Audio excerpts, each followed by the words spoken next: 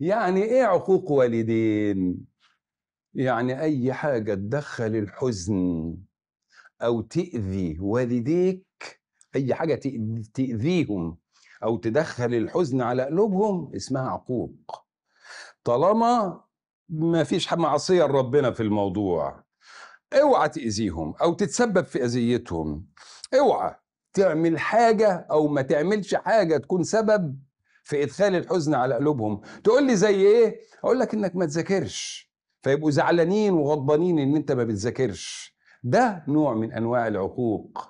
إنك ما تزورش أو تقاطع أختك ولا أخوك ولا حد من أرحامك يبقى الأم والأب بيتقطعوا وهم شايفين ولادهم. مقاطعين بعض ومخاصمين بعض. ده أكبر نوع من أنواع العقوق. وكان لدرجة إنهم يقولوا إحنا نتمنى الموت ولا ان إحنا كنا نشوف اليوم ده في حياتنا إن الأخ مخاصم أخوه ولادي مخاصمين بعضهم والأخ ما بيخشش بيت أخته والأخت زعلانة من أخوها. ده كل ده من أنواع العقوق. إنك تقطع رحمك أو أو أو تخاصم إخواتك.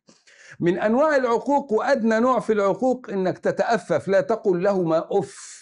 اف دي انك تقولي متأفف كده متضجر من أي حاجة بيعملوها. رغم إن أنت ممكن وده بيحصل كتير يطلبوا منك أي حاجة فتقول حاضر. بس وأنت ماشي حاضر تقول يا أوف ما فيش إلا أنا.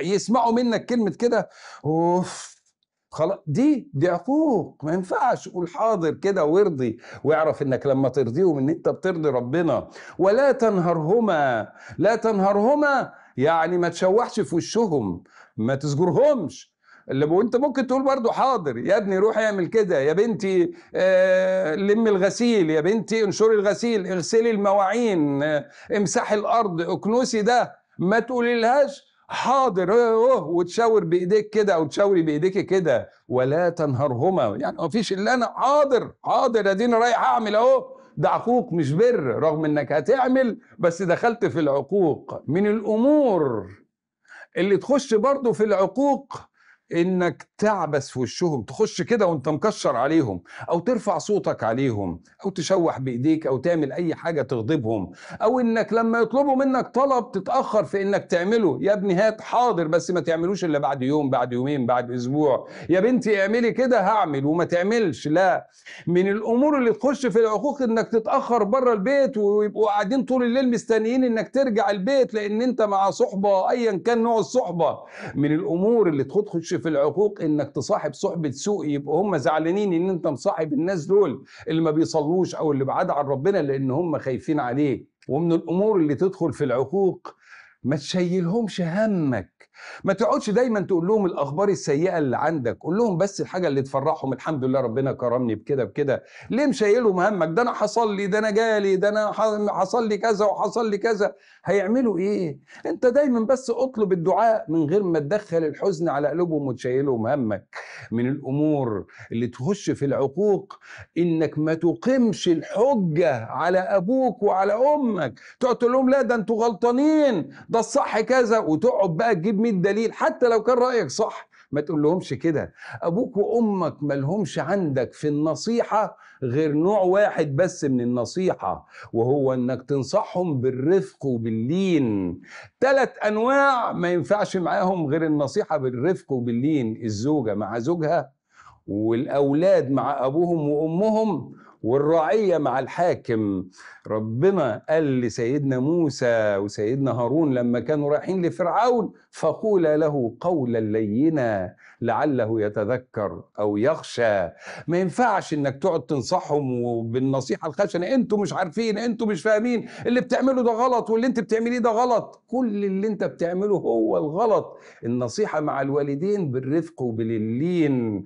آخر حاجة أقولها لك من صور العقوق اللي ممكن تقع فيها إنك تذم الطعام اللي الأم بتعمله. الأكل ده دلع ليه؟ الأكل ده مالح ليه؟ الأكل ده مش مستوي ليه؟ لا أنا مش عاجبني ده. أنا عامل لا يا أخي هي تعبانة وعملت اللي تقدر عليه ونفسها تعمل لك أحسن حاجة في الدنيا.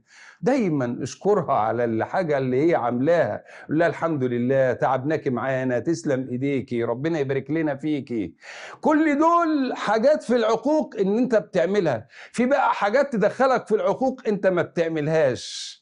يعني إيه؟ يعني مثلا إن أنت ما تذاكرش يزعلوا ويغضبوا منك. إن أنت تتأخر في إن أنت تزورهم هم مستنيينك تزورهم كل يومين فأنت تقعد كل أسبوع ولا أسبوعين. بيستنوك كل خميس تيجي الخميس ده ما تروح لهمش وتتأخر عليهم يبقى قاعدين طول النهار عينهم على الساعة يشوفوا أنت هتيجي ولا مش هتيجي ويتصلوا عليك. أو إنك تتأخر في الاتصال بيهم إنك تتأخر في الاتصال بيهم بأبوك أو بأمك. عود نفسك وأنا عندي أحد أصدقائي في الشغل في العمل. سبحان الله عمره ما يبدأ يومه في الشغل ده مدير من المديرين إلا لما يبدأ الأول يتصل على والدته ويطمن عليها. الحمد لله حضرتك طيبة يا أمي بخير ربنا يبارك لنا في عمرك.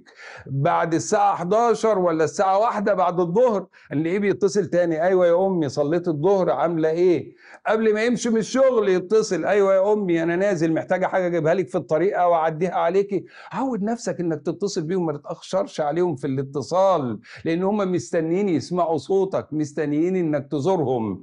أقول لك على حاجة بقى اسمها العقوق الصامت وهو إن أنت تزورهم على طول وتاخد ولادك وإخواتك وكلكم تروحوا وفي الآخر إيه اللي يحصل؟ أنتوا قاعدين قاعد مع والدك أو قاعد مع والدتك وكل واحد فيكم ماسك الموبايل المصيبة اللي اسمها الموبايل. قاعد الساعة ولا الساعتين كل واحد باصص في الموبايل ولا حد بيتكلم معاهم ولا حد بيؤنسهم ولا حد حتى بياخد ويدي معاهم ويحكي معاهم. هم مستنيينك تزورهم ليه؟ عشان تقعد ساكت ما بتتكلمش خالص. ده هم مستنيينك تحكي معاهم. ان شاء الله حتى يحكوا لك نفس الموضوعات. اسمعها كأنك أول نوبة تسمعها. يا نهار أبيض وده حصل وده جه. أيوه حسسهم كده إن هم عايشين وإن أنت بتتفاعل معاهم. ما تروحش تبقى قاعد كده صامت ما بتعملش حاجة خالص.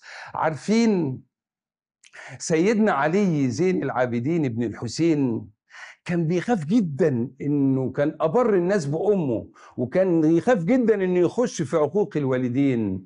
فكان رغم شدة بره بأمه إلا انه عمره ما كل معاها في صحفة واحدة في طبق واحد في صحن واحد. فسألوه ليه أنت ما بتاكلش معاها؟ قال لهم كلمة طيبة جدا احفظوها يا شباب. قال لهم أخشى أن تسبق يدي إلى ما سبقت إليه عينها. تبص هي على حاجة طيبة في الطبق كده استطيبتها. لسه هتمد إيديها تاكلها؟ فهو الأول من غير ما ياخد باله راح واخد الحاجة الطيبة دي وأكلها هو. فيبقى كده إيه؟ يقول فأكون قد عققتها. أخش في العقوق. ليه؟ طب فين العقوق هنا؟ إن هي من جواها حزنت كانت اشتهت حاجة وما كلتهاش. هو كلها قبليها. مد إيده تسبق يدي يدها. تبقى هي عايزة تمد إيديها وأنا الأول إيديا تمد. فكان يسيب أمه تاكل أطيب شيء واللي يبقى منها ياكله هو. كل ده ليه؟ كل ده عشان خايفين يزعلوهم أو يدخلوا الحزن على قلوبهم لأن ده نوع من أنواع العقوق والعقوق دركات زي ما البر درجات. ربنا يكرمنا ويكرمكم ويجعلنا من أهل البر بوالدينا.